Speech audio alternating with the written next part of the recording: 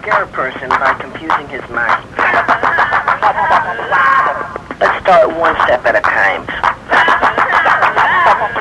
As you can scare a person by confusing his mind.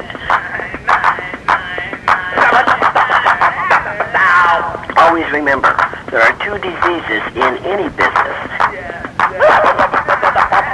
Well, jeepers, we've got two or three children.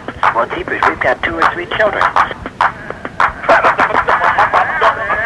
There's no need for confusing their mind or, or, or filling up their mind with those little things that they...